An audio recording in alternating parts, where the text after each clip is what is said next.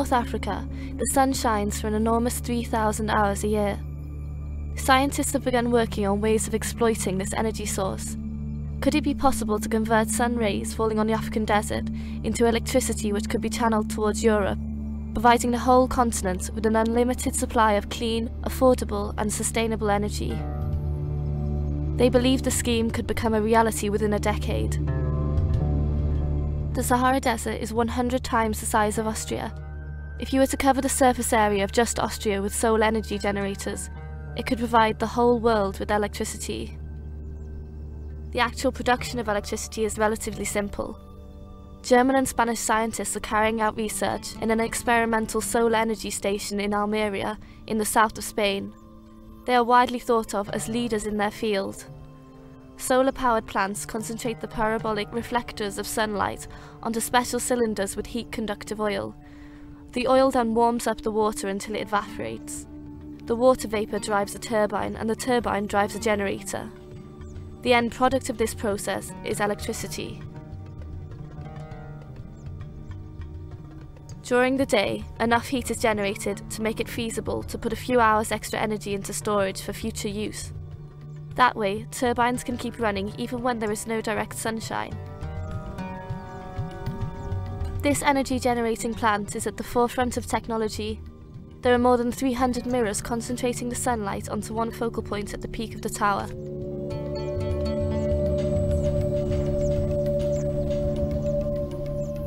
The temperature at this central hub can rise as high as 1000 degrees.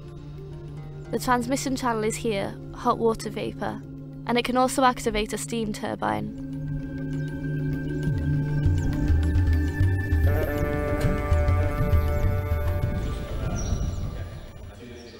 German researchers like Christoph Richter visualize a massive electricity grid linking North Africa and Europe.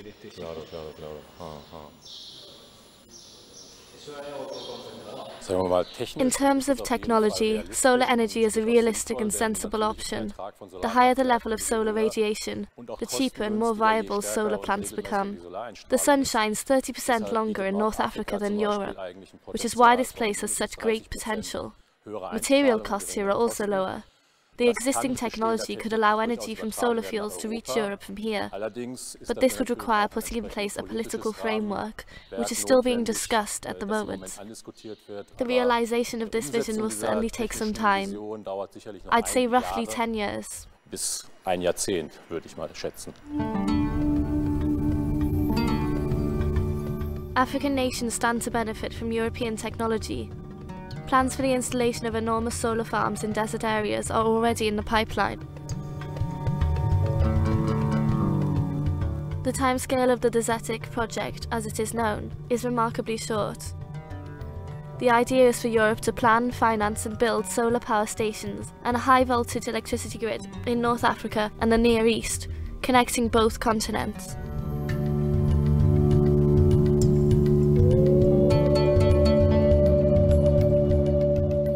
Type of energy motorway will then extend across Central Europe through Spain.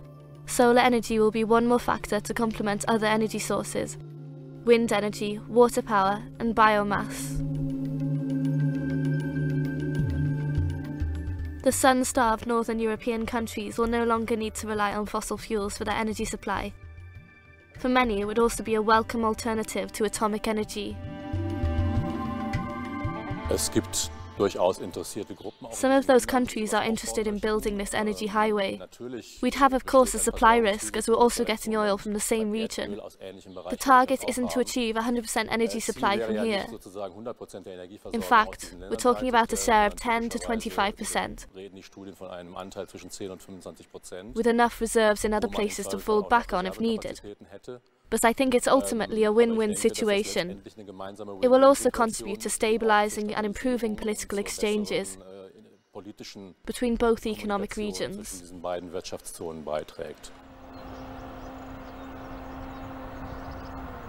The technology involved is already well established. Solar energy installations have been operating without serious problems since the mid-80s in the American states of California and Nevada. But interest in developing solar energy decreased because back then, fossil fuels were inexpensive. Low oil prices also discouraged research, But then, after 2001, there was a change of attitude. The EU became more aware of impending environmental and power crises and began a programme to promote alternative sources of energy. But Europe has found itself caught in a difficult situation. Centuries of European colonialism has led to African mistrust of their intentions. Equally, Europeans are unwilling to put themselves in a position of reliance on countries that they consider volatile and untrustworthy. Even one of the leading campaigners and supporters of solar energy in Spain admits to misgivings about the extensive project. Yo creo que es un falso dilema. I find that we are faced with a huge dilemma. The mindset of using so much energy as though there were no tomorrow has brought about this awkward situation. Everyone assumes that their country will continue developing new energy sources indefinitely. However, there needs to be a fundamental change of attitude. As far as I'm concerned, the solution lies in our hands. Rather than creating one energy highway with solar electricity from Africa, every individual country should deal with its own resources more responsibly. Germany or Austria can meet their energy demands through wind power or biofuel. From my point of view, that would be the most intelligent solution. The treasures of nature lie on our doorstep. Despite all this, there is gold rush fever raging through Spain at present. Solar electricity is popular and heavily promoted here. Seville is soon going to be the first region to introduce solar power engineering to the main power grid.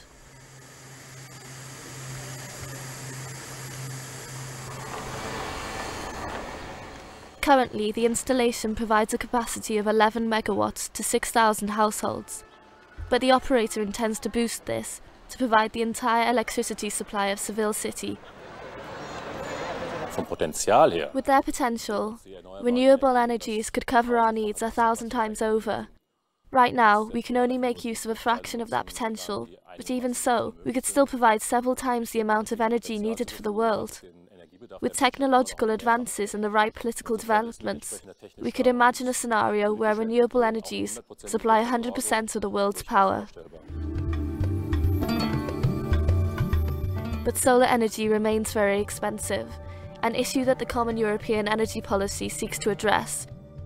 This ensures that technology and funding are not a problem, and it seems likely that reform and further research will bring the price down, making solar energy much more viable for governments of the future.